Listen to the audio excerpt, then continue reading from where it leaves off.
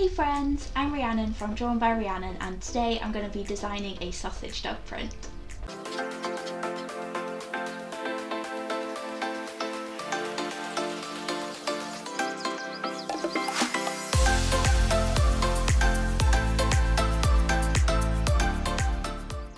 Of the things that I love most about doing markets is being able to get out there and actually talk to you face to face, getting feedback on items and on just all sorts of things. And one of the things which is really useful feedback that I get from you is when you ask for new prints. Most of the time when I design a new print it's because I've got inspiration from somewhere, like I've seen something or I've been somewhere that I really want to draw. But sometimes when I'm designing a print it's because so many people have asked me for it. And last year when I was doing Christmas markets, I got asked so many times to do a sausage dog print. So here we are, I've listened and a sausage dog print is incoming.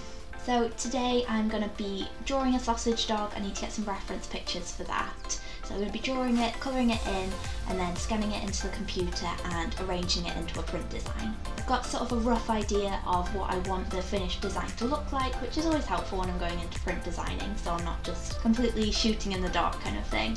So I'm going to grab my sketchbook and some pencils and get started.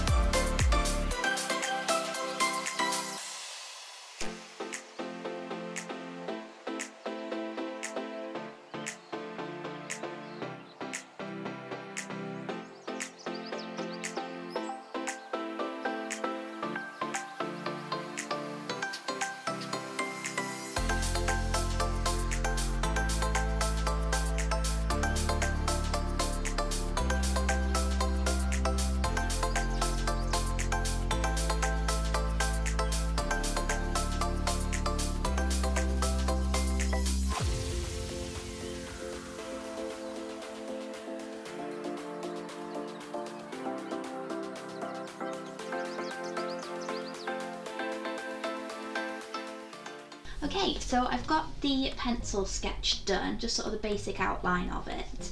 Um, I was going to colour it in with uh, pencil crayons, but I'm thinking because they're not like, I'm not doing a long haired one, so it's very short fur and it sort of looks kind of velvety. I think what I'm going to do instead is paint it with watercolours, um, do a load of different shades of brown and then uh, transfer that over into Photoshop and sort of make some digital brushes from the watercolour painting that I'm going to do and I think that's going to give it more of um, like a nice velvety finish. I'm going to go and grab some brushes and just do a few different shades of brown so I can get those sampled, put into Photoshop and uh, get this all coloured in.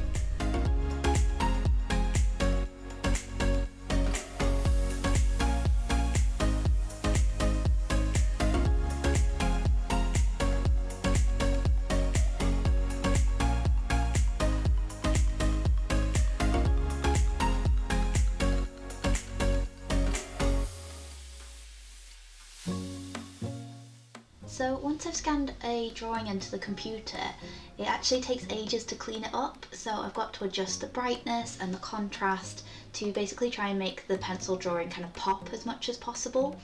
Um, and then there is the very, very long and boring task of going around and getting rid of all the little, I don't know how you describe it, like little artifacts. Um, it's sort of like the texture of the paper and any rough little pencil marks that have somehow sort of managed to get onto the page. Um, and then basically just cleaning up the lines. So when you draw with a pencil, it leaves a very kind of rough and bumpy line, which I want a little bit of that so that you can still see that it's hand drawn, but a lot of it is just like too bumpy and it doesn't look good on a digital print. So I just need to go around and clean all that up. And then a lot of it as well is kind of trying to even out the lines. So when you're drawing with a pencil, it is near on impossible to get every line the same thickness. I don't know if it's just something about being human, but it's like impossible. Um, so I basically just have to go around and try and make the lines a similar width um, again, just so when it's on a digital print, it looks better, looks a bit cleaner, um, and you don't get sort of really heavy lines on some bits of the print and then lighter bits on the other. So just trying to make it a little bit more uniformed, but still keep that hand-drawn characteristic.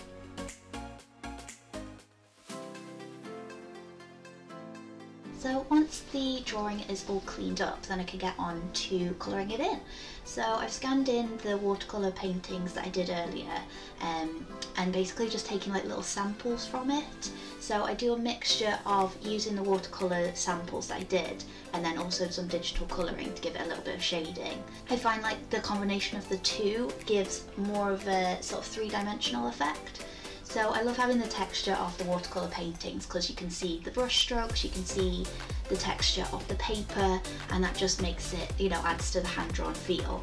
But then when you go in and add highlights and shading, just like digital painting on top, then it just gives it a bit more depth, um, just makes it a little bit more realistic, just keep going back and forth between my drawing and the paintings and also my reference picture just so that I can see where the colours are, where I'm wanting the lighter patches and the darker patches. Um, it's really tricky to sort of blend the colours nicely. So it's a lot of layers as you can see on the right hand side there. There's a lot of layers. And then I've also got this sort of dapple effect that I did with the brushes just to give it a little bit of a furry texture just to mix it up a bit. Because um, obviously I am painting it digitally but I want it to look as undigital as possible if that makes sense. Then at the end I'm just going over with a sort of base colour just to smooth it all over, make the transitions between the different patches a little bit more clean. Now that the drawing is all finished, it's time to make the final print design. So I believe this is quite an outdated way of making a print design these days, but this is how I was taught it at uni, um, so this is the way that I do it. There was just a little tweak that I wanted to make that when I finished the design, I realised that it just looked a little bit dark, so I just went back and lightened up the sausage dogs. Like I said at the beginning of the video, I did have quite a clear idea of how I wanted this print to look like when it was finished.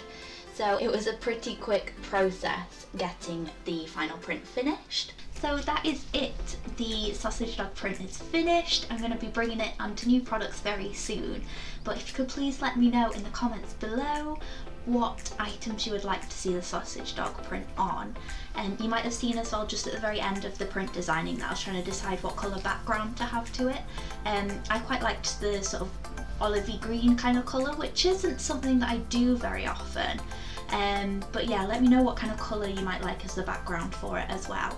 It took a lot longer than I was expecting. I feel like I say this every time I design a print, but for some reason it just took so, so long to clean up the picture.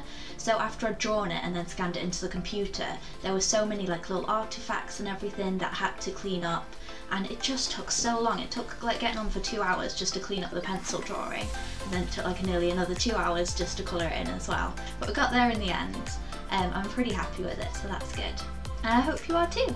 Let me know if you have any requests for other print designs. I'm going to be doing some more dogs this year, so I'm going to have individual prints of the most popular dog breeds, but then I'm also planning on doing um, a dog print with all the dogs that I've drawn on, in case you don't have like a particular breed that you're really into. Thanks for watching. If you enjoyed this video, please give it a thumbs up. And if you haven't already, it would be lovely if you could subscribe to my channel. I hope you're having a lovely day and I will see you in the next video. Bye!